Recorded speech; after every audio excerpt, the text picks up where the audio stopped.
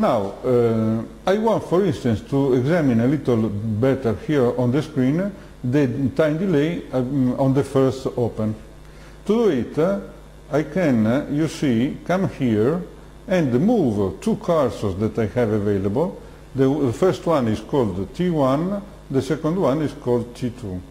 For instance, if I go to T2 and move, uh, I don't know if you appreciate uh, the cursor moving, eh, the dotted line moving here. Now, if I come back and press the zoom, here it is, I have zoomed the first part of the diagram. Now, I can come back to T2 and move it until it is corresponding to the opening of the phases. You see I am moving in quite big steps, but if I press on 5, the movement is reduced so that I can read here that the time difference between here T1 I move it to 0 it is the starting point. And here okay is 41.5 milliseconds I can even zoom more if I come on T1 this way and then on T2 this way and press the zoom, I can even zoom more on what is the difference, uh, the timing difference between the three contacts Okay? So, if I go again to T1,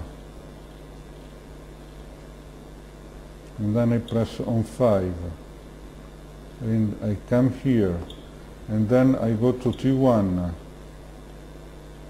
I press on 5, and I can come here, you see this slight, very small time difference is 1.5 milliseconds. Okay? And this is uh, the timing difference between the three phases. Now, if I unzoom and unzoom again, I am back to uh, my main screen.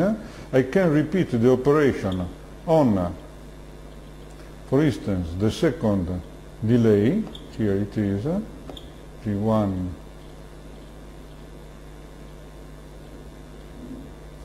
here it is, zoom up, okay?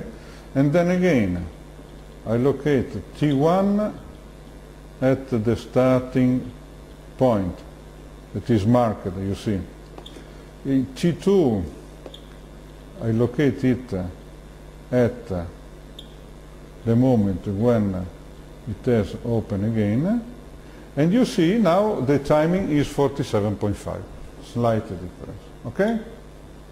So you see you can by examining the diagram um, read the delays I don't repeat it for the close command eh? but now if you go to menu and results and save and uh,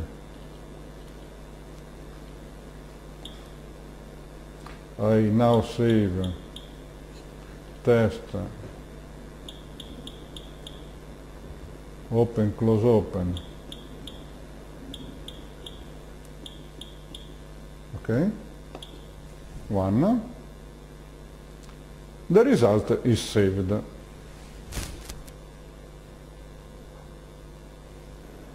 Now uh, you have seen the, the, test examination, the test result examination on the diagram, but if you go to the main screen and select result, okay, here you have the table that is telling you in clear terms what happened. So, closed coil, maximum current, open current, coil 1, maximum current okay? And also the time duration for these commands.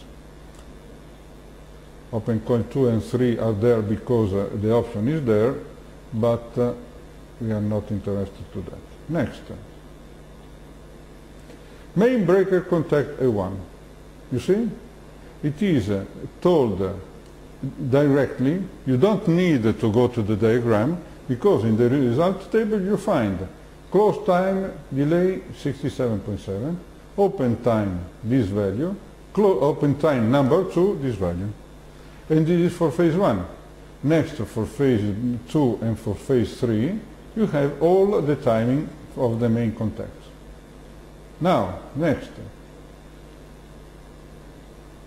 You have even the spread between um, the, the poles and the average open time and close time on the three contacts.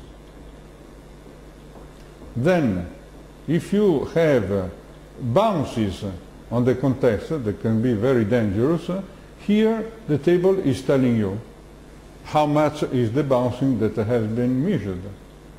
Then, auxiliary context. We have enabled the auxiliary context and these are the timings for the two auxiliary contacts that you have connected.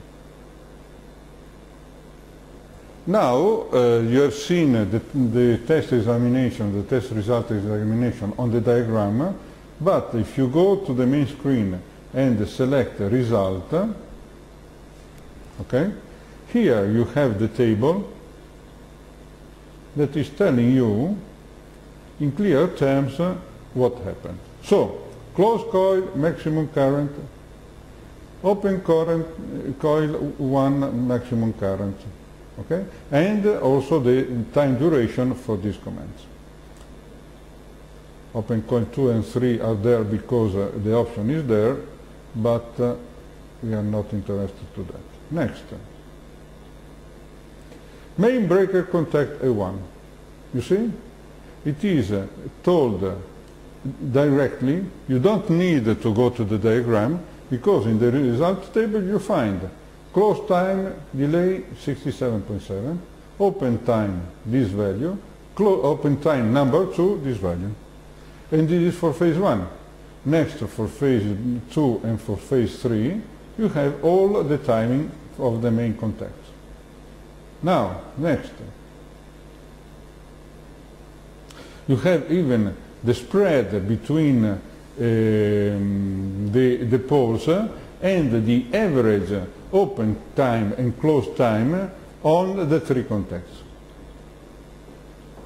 Then, if you have bounces on the contacts that can be very dangerous, here the table is telling you how much is the bouncing that has been measured. Then, auxiliary contact. We have enabled the auxiliary context and these are the timings for the two auxiliary contacts that you have connected.